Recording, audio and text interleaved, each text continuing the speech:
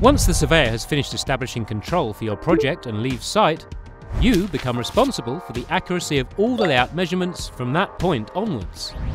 Traditional layout methods that use tapes, strings and plumb bobs are both time consuming and prone to errors, which can be expensive to resolve when mistakes are not found until much later in the project.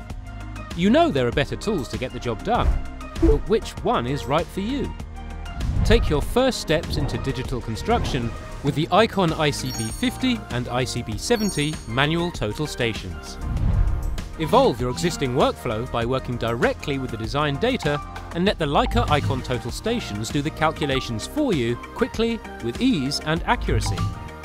With simple guided workflows and a few button presses, the Leica iCON Total Stations allow you to benefit from a quick and error-free layout to complete tasks easily on site. Even the more challenging design elements, such as curves and arcs, can be easily tackled, thanks to the intuitive iCON Build software which is designed specifically for all construction layout and positioning tasks for all project types.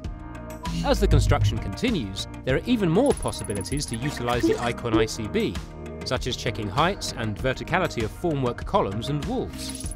Once the construction phase is complete, it is easy to conduct as-built measurements to prove the accuracy of finished structures. The as-built data and different field reports can also be sent back to the office for project progress tracking, archiving and sign-off. Evolve your workflow by going digital and reduce mistakes, save time, save cost, and go further with the Leica iCON Manual Construction Total Stations. Visit our website to know more.